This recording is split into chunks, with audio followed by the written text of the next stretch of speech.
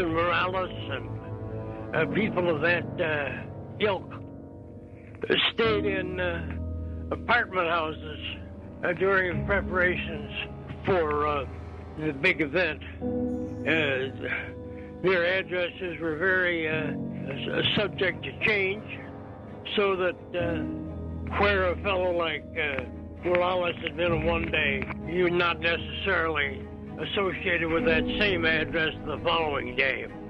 In short, it was a very mobile uh, uh, experience.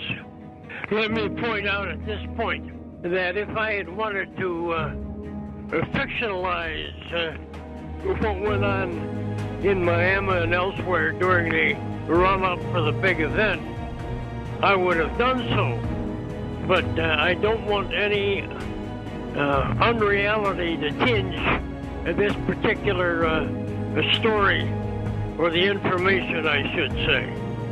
I was a bench warmer on it, and uh, I had a reputation for honesty. I think it's essential to refocus on what this information that I've been providing you, uh, and you alone, by the way, consists of.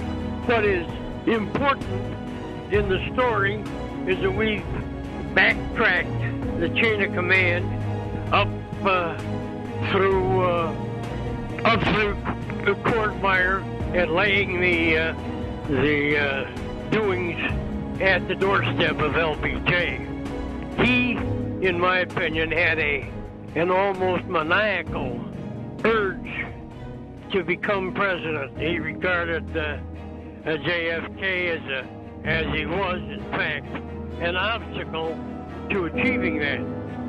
Uh, he could have waited for JFK to finish out his term and then undoubtedly a second term. So that would have put the LBJ at the head of a long list of people who were waiting